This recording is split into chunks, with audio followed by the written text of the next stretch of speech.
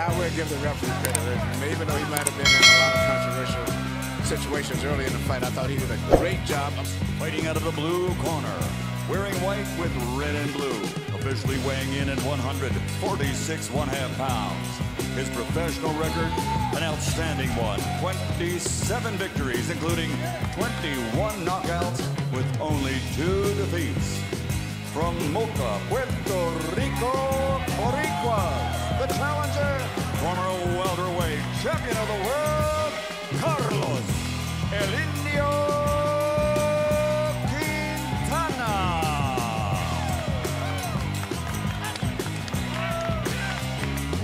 And fighting out of the red corner, wearing red with blue, official weight 146, one quarter pounds.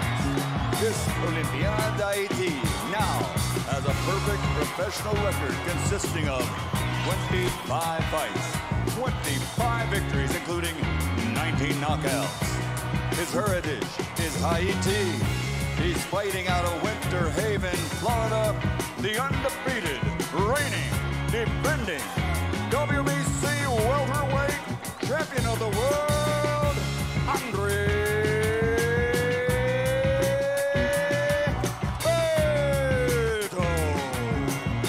Gentlemen, this is the main event.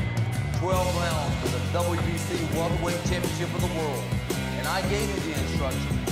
I want to remind you, this audience is here to watch you fight. So keep it clean. Touch them up.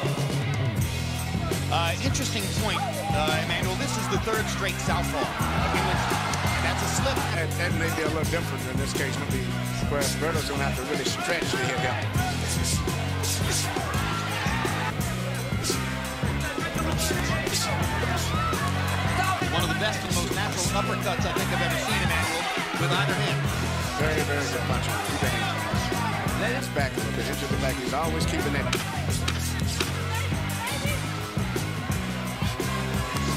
No punch. Harold Lederman gives the first Goes right hand and then over to his left to, and, and, and to make Berto miss. Because he see Berto trying to pretty much gamble on just that right hand. There's that sneak left hook that gave Paul Williams so many problems in their first fight. primary scoring weapon against Williams. He landed is not surprising. And Quint, uh, Quintana is working that right jab and, and always looking for the right hand back from Berto.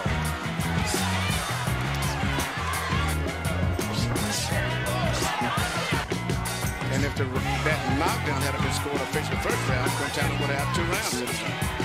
Landed by Quintana. Hitting behind the head. Good left hook by Berto.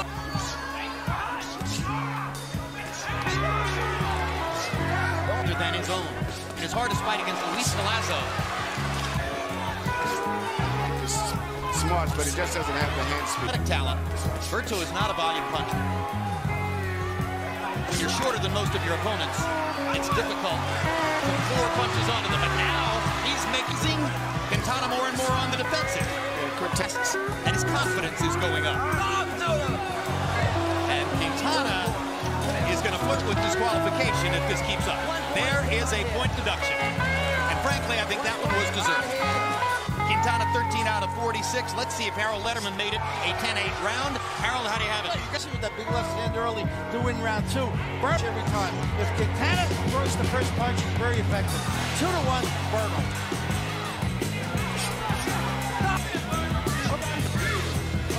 Quintana not to hold Berto's left arm,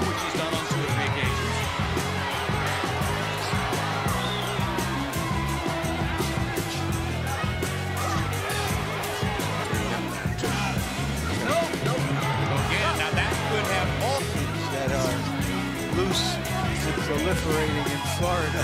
some of them throwing to 20 feet long. Good left hand over the top by Berto. Heavy shot to the body. Berto is starting to make bigger and bigger impact.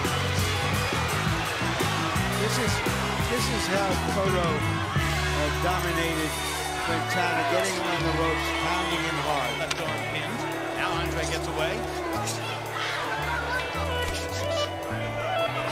Quintana's like an octopus when they get inside, Emmanuel. your fighters. He's, doing a lot of things, and I'm just wondering. Good right uppercut by Quintana. I was wondering, was Berto is of Cosme Rivera, Puerto Rican veteran.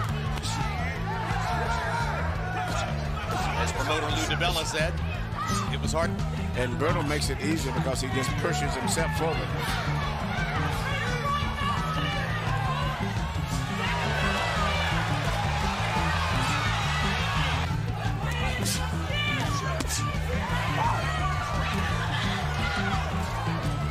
See, right there's what I'm saying. When he's, when he's pushing forward. Berto sees an opportunity here. Quintana is hurt. They both landed clean punches. Berto's was linting will bail him out if Kimmons allows it. Hard right hand by Berto. Quintana now in serious trouble against the ropes. Wobbling, trying to grab again. Keeps throwing punches. Berto looking for one more right hand. And Quintana's got his legs back already.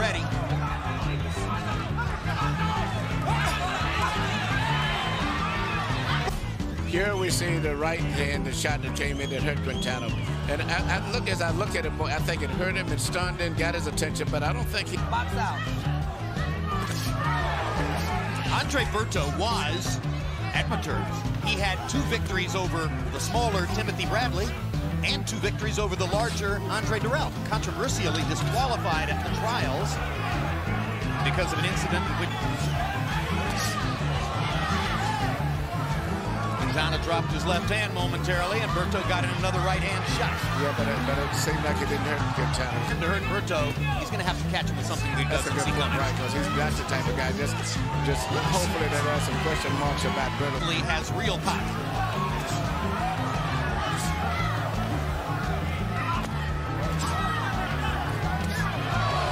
Again, they trade solid shots, and again, Bertos is the harder punch. Quintana hit Berto four or five clean shots to the ribs. He had a hand free. He was punished. But other than that, Andre Berto winning the fight based on, you know, he's trying to let him fight inside.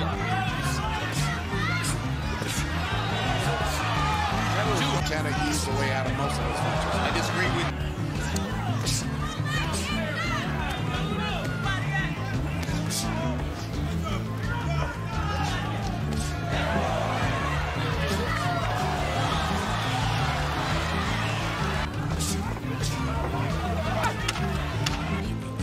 Here we see the exchange that we were speaking about here near the corner.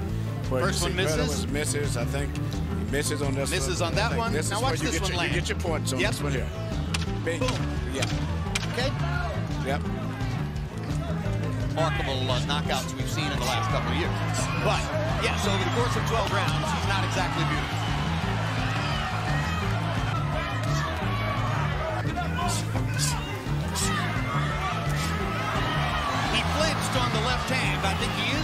Sometimes by the bicep, but the right hand is still working very well for Berto. He just Quintana can't, can't deal with his speed. That's just the difference.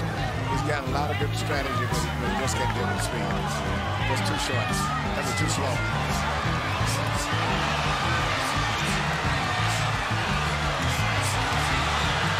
This is not much This about nothing. This here. is a good point at which to stop the fight, possibly. But now Quintana is going to get out of it. Andre Berto was very close to making his point right there. He's still pressuring Quintana from corner to corner. And that's a huge right hand right on the face. Still a minute to go in the round. I don't know. Hard to see how Quintana gets out of this, though. He's got good legs and good instinct. And he's also got blood over his right eye. And it's swelling. Berto looks like he needs a blow here. He's going to come through with another That right hand was enough for Tommy Kimmons. A perfect shot right down the pipe. Oh my God. Trainer Tony Morgan shocked Andre Berto with a tackle that could have injured his fighter. Quite frankly, that was not smart. Now Berto's up on Morgan's shoulders, but he was momentarily shocked by the tackle.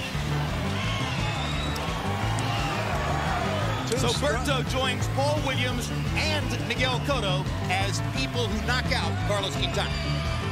Too strong, too hungry, and still undefeated. Closed the show, landing by CompuBox count 32 of his last 46 power shots. The accuracy with the right hand was ultimately the difference. Yeah, once Quintana slowed down, he couldn't judge in time him so well. That was he was start landing the right hands.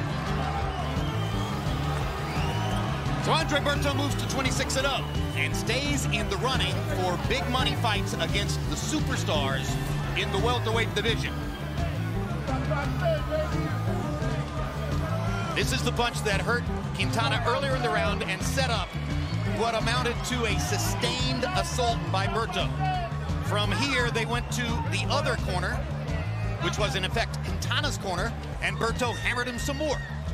And I will give the referee credit. Even though he might have been in a lot of controversial situations early in the fight, I thought he did a great job of stopping the fight. He stopped it at the appropriate time.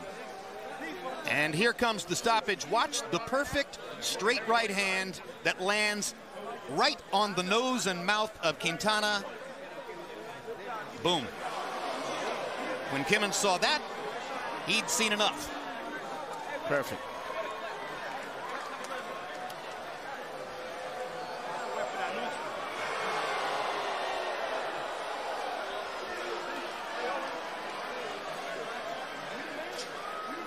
That's a finish. Let's go to Michael Buffer for the official particulars on the Ladies and gentlemen, referee Tommy Kimmons steps in and calls a halt to the contest. The official time, two minutes, 16 seconds of round number eight. The winner by TKO victory and still the undefeated WBC welterweight champion of the world, Andre